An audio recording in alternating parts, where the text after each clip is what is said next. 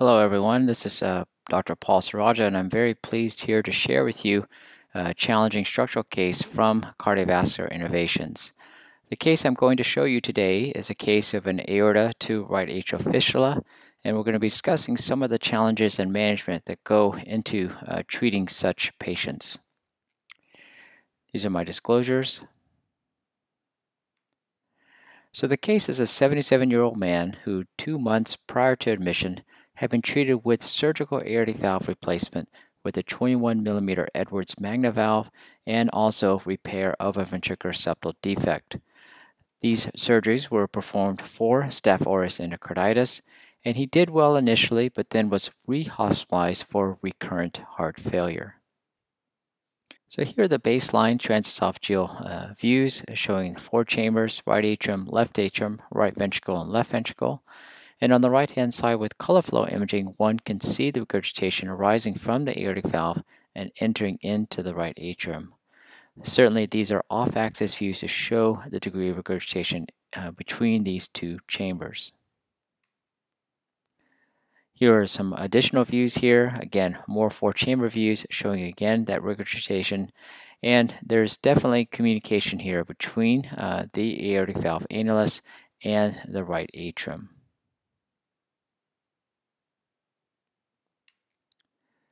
So you can think about how you would approach this from a transcatheter standpoint. And over the next several slides, I'm going to show you how we did it at our hospital. So the first thing we did is obtain a CT study that allows us to put the location of the defect exterior to the aortic valve prosthesis. And the purpose of that is so that we can then use the image intensifier to find the appropriate angle to engage the defect. Here you can see we're in an LAO view and the image intensifier is then uh, used and positioned in this area with an aortogram to identify the leak arising from the aortic uh, valve area and then entering into the right atrium. With this view, you can then see how a wire would then be passed exterior to the aortic valve prosthesis and directly enter the fistula into the right atrium. If the image intensifier is not positioned in this view, then the wiring would be difficult because it would be difficult to see if one was behind or in front of the prosthesis. In this view with exteriorization, you can see that the fistula is easily seen and with that a wire can be easily passed as one can see here. This is a simple 6 French multi-purpose guide, uh, guide catheter and this is a straight glide wire, which has then been passed retrograde across the aortic valve into the right atrium. And this is confirmed on both fluoro as well as an echocardiogram. Here's a TE view, short axis view showing the uh, aortic valve prosthesis here, and the wire uh, that is entered through the fistula into the right atrium. We then pass a wire up into the right atrium and we are then going to connect a rail uh, and exteriorize that rail so that we can easily exchange and pass our delivery sheets across the fistula. Here is a 15 millimeter gooseneck that has been advanced from the right femoral vein through a 20 French Gore dry seal catheter or sheath, and this gooseneck is positioned up in the SVC. The wire has uh, exited uh, the multipurpose catheter, gone through the fistula, and is looped in the right atrium, and is also positioned up in the SVC for snaring and removal. Now this case was a little bit challenging because as we snared the wire and then attempted to remove it, there was entanglement uh, with the pacemaker as you can see here.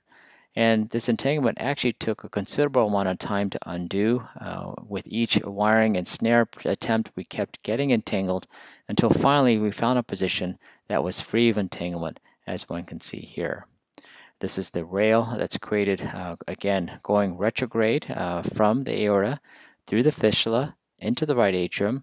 There was snaring in the SVC and then exteriorization out of the right femoral vein here. And with this rail then created, we are then able to advance our delivery sheets uh, one by one to place our plug devices. Here is a 8 French uh, 90 centimeter flexor sheath that has been advanced uh, from the right femoral vein, and this is advanced over the wire quite easily. One thing to keep in mind is that this is a 90 centimeter sheath, and this is important because a lot of devices are 100 to 110 centimeters, so you do need a short delivery sheath uh, to um, pass these devices. Another important point is that these flexor sheaths have very long dilators. As you can see here, this is the end of the sheath and the dilator extends up here and this dilator is, is sometimes difficult to visualize. So one has to be mindful of this dilator and its location uh, because if this dilator is passed uh, without monitoring, it could easily cause injury. So as the sheath is in advanced up to the aorta, uh, we watch this on echo, and this is the sheath here again entering the fistula. Uh, and, and, there's already uh, a decrease in the regurgitation you can see with the sheath placement there. And with that, uh, alongside uh, the wire, we then can extrude a 14 millimeter AVP2 device. And one can see here is that uh, what we've done is we've passed the, the delivery sheath over the wire, and then next to the wire, we've put the AVP2. And this is important because if one needs to either remove this device or place additional devices, one can then do that sequentially with the rail in place. Uh, if the rail is not in place, then one would have to rewire, re rewire uh, with a glide wire and recreate uh, the passage of the delivery system, which could be challenging with these plugs already in place one by one. So you can see here again the fistula has started to close with the placement of the AVP2 device. We then go in sequentially so that 14 millimeter uh, device is laid out along the fistula as you can see here. And then right next to it with the wire still in place, we then go over that rail with an, uh, the 8 French flexor shuttle again. It's reinserted over just that wire and this is made possible uh, by the 20 French dry seal sheath because the dry seal has the balloon occlusion cuff which seals nicely around the flexor shuttle as well as the delivery cable as you can see here. Without that balloon cuff you would have bleeding in the femoral vein uh, where the venipuncture took place. We then uh, repeat the maneuver, uh, and this is uh, uh, uh following uh, two plugs that have been placed here. This is a distal disc of the second device. This is the first device that's been placed. We then place two AVP2s right next to each other, and you can see here that the wire is still left behind as a rail in case we need to do an additional device or exchange the current devices for larger ones. We then repeat the sequence with the third 14 millimeter plug. We go over that same wire, uh, uh, exterior uh, to the two delivery cables, and then we place a third uh, AVP2 device. And you can see here there's a three plugs that have been placed here uh, across the fistula and with that, uh, uh, the uh, regurgitation is markedly improved and all the devices are then released. Of course, before the release, you will want to confirm that there's no impingement of the coronary arteries, no impingement of the aortic valve leaflets, and there's adequate reduction of the regurgitation or fistula communication. And this is what it looks like on transesophageal echo. You can see the plugs here placed across the fistula. Some of them will hang outside the fistula because of its serpiginous irregular connection. And this is the elimination of regurgitation with those plugs in place. Here's some additional off-axis views of the plugs. And here's a nice 3D view showing how these plugs will lie next to each other and occlude that fistula. So the key points in this case is that beware uh, of pacemaker wires when you're snaring in the right atrium. It's very easy to be easy uh, to become entangled with them, and you certainly don't want to be pulling on those wires as you're creating your rail. And uh, second key point here is that as uh, you're closing these defects, uh, I strongly recommend the use of a rail and an anchor wire technique uh, in order to improve the efficiency and effectiveness of the fistula closer.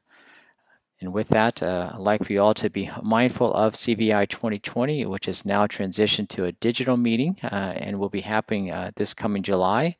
We will also have a series of webinars uh, for, uh, for you all to uh, view and certainly welcome your participation in these.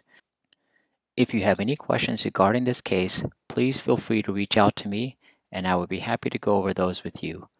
I can be reached at p S O R A J J A, at gmail.com, or through the CV Innovations website. I look forward to hearing from you.